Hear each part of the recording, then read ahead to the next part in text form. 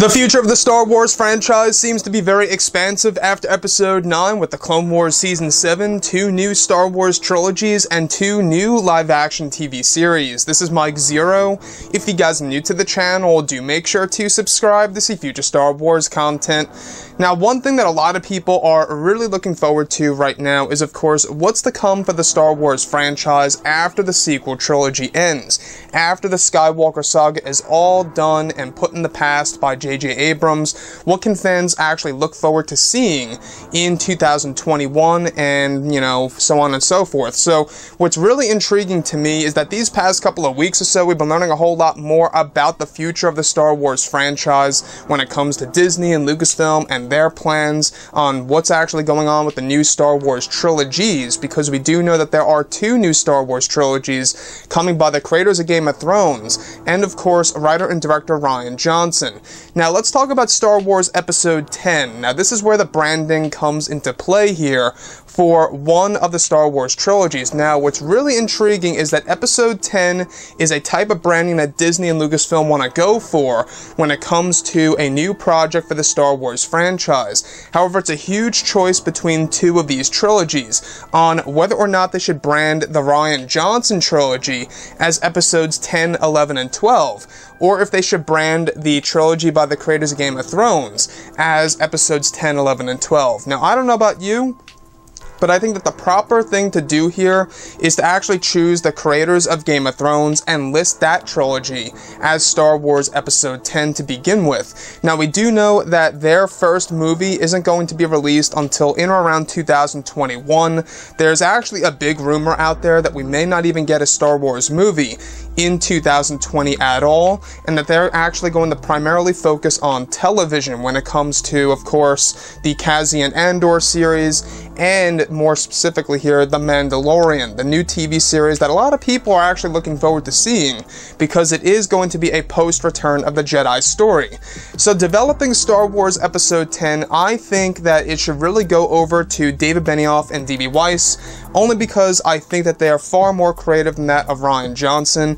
As for Rian Johnson, you know, of what happened with The Last Jedi and how, you know, a lot of things happened out of that movie and how it caused so much backlash, I'm not quite sure if they should actually make his trilogy, you know, the new chapter films per se, as 10, 11, and 12. That should all go toward the creators of Game of Thrones. And speaking about, you know, David Benioff and D.B. Weiss, I wanted to go on to the subject of what that's actually going to be about.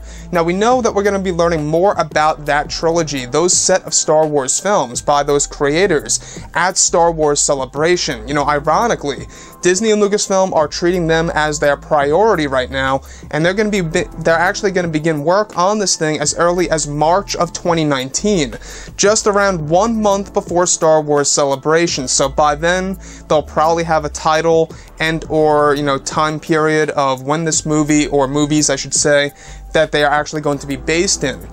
So, Star Wars Episode 10, 11, and 12, that type of branding, I believe that the creators of Game of Thrones deserves that when it comes to their trilogy over Rian Johnson's. That's just my opinion, that's just how I view things. Uh, let me know if you guys either agree or disagree with that. As for Episode 9 right now, we do know that they are ending the Skywalker saga, and this is where the big question comes into play if one of these new trilogies, you know, do end up being called Star Wars Episode 10 for starters, is it really going to make sense where it's a continuation throughout the numerical system, right? Where you have, you know, episodes 1 through 9, and then you have 10, 11, and 12. That's not even going to be about the Skywalkers. Would that make a whole lot of sense to you guys? No, they could always expand if they really wanted to, where 10, 11, and 12 is a new beginning, and they could just keep on going forward, you know, with that. They could do like a 13, 14, and 15, where, you know, it's expanding off of a new bloodline or a new family that's very important in the Star Wars galaxy. They could do something like that.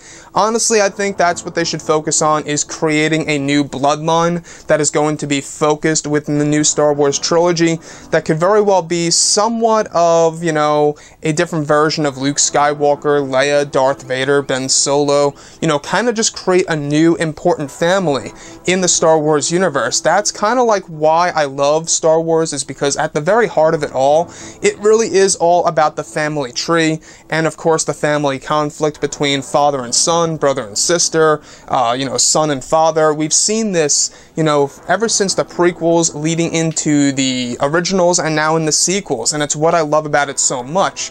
So let me know what you guys think about the branding of Star Wars Episode 10 for starters, if it belongs to the Rian Johnson trilogy, or if it belongs to the creators of Game of Thrones. Anyways, guys, drop a comment below. Let me know what you think about all of this in the comments. And if you guys did enjoy the content for today, do make sure to drop a thumbs up on this video to support the channel. I thank you all so very much for the kind support, and I'll catch you guys next time.